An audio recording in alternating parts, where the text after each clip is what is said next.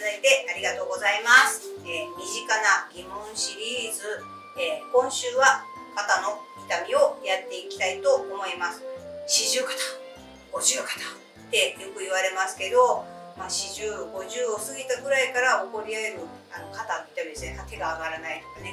洋服のとか着ようとした時あ痛たたたみたいなあのそんな痛みなんですけれどもひどくなるとね1年ぐらい肩が上がらないみたいな人もいらっしゃるみたいです。さあ肩の痛みはどうして起こるんでしょうかっていうところなんですけど実は肩の痛み肩だけを使っているとやっぱり起こってしまうし肩の痛みは実は肩だけが原因ではないことも多いんですね。今日は、えー肩の痛みを予防するための運動を少しやっていきたいと思います。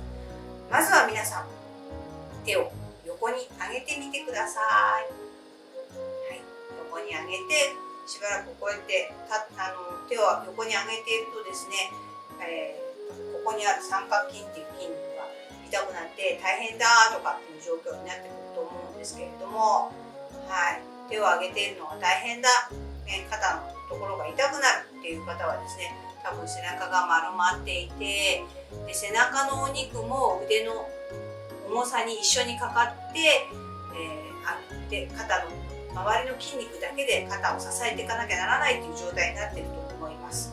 今ね手を避けたいなって思っている方はそういう状況だと思います。肩は実は背中で背中の筋肉でしっかり支えていただけるともうこの状態でロックされてですねいつまでたっても上げて上げっぱなしでいることが実はできるんですね。解剖学的に言うと、えー実はできる状態になるんですね。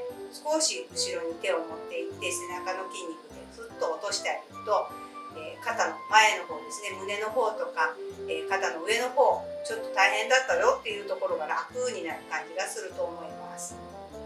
はい。それでも大変な人がいそうなのでゆっくりと手を下げていただいて結構です、え肩っていうのは肩だけで動かそうと思うと本当に大変になります。腕の長さ腕の重さっていうのは結構な重さになります。そこをここだけで支えていくっていうのは大変なんですね。背中の筋肉。ね。で首から上の筋肉。全体胸の筋肉も合わせて全体で支えていくっていうところが大事になってきます。ですからまずは肩の周りね。あの他の筋肉のところからしっかりとほぐしながらやっていきたいと思います。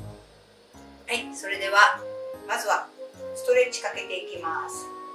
手をですねアイーっていう感じ持ってきたら肘をこうぐーっと入れて顎を。でここの辺が伸びてくるぞっていう感じがすれば大丈夫です。無理がなくこうしっかりと伸ばしていきましょう。はい1234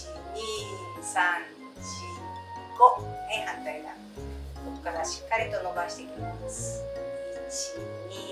1234 5今ねここが中心にねこの辺を伸ばしていきましょうって言いましたけれども今度はここを少し肩の方から引っ張ってくるとこ背中の方が伸びてきます。12345ね同じ動きなんですけれども手を当てる位置によってですねあの伸ばされてくるところが違います。背中がこの伸びてきますよ。12345どうですか？もう一度。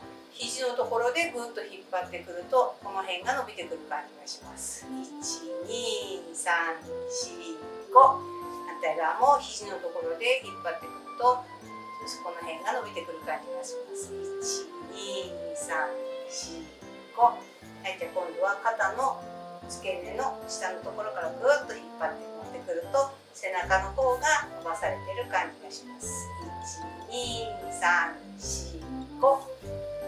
側も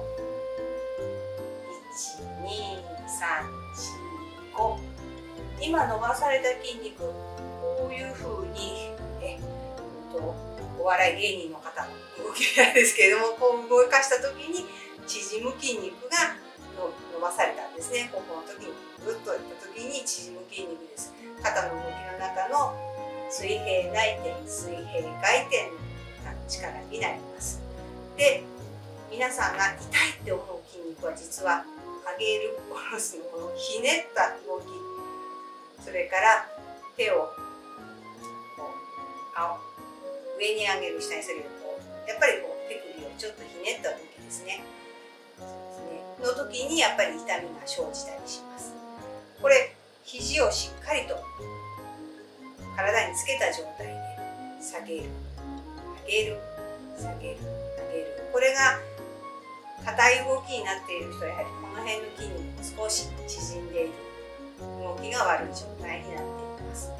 しっかりとこれこういう動きをねついこうやってる時に肘がこう動いてしまうとあの違う筋肉が動いてしまうのでこの状態でもしっかりと上げる下ろす上げる下ろすこういうのも大事になってきます。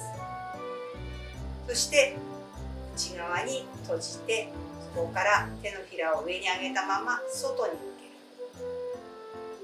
戻します。外に向けます。戻します。外に向けます。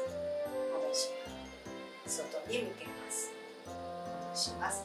外に向けます。戻します。外に向けます。こうひねりの運動ですね。割にこういったのも動き背中の方までしっかり。と動く感じにすると思います。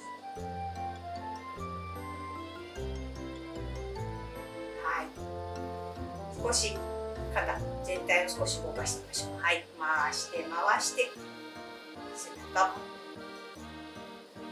前にも回して背中の筋肉も一緒に動かしていきますよ。はい。手のひら下で振って。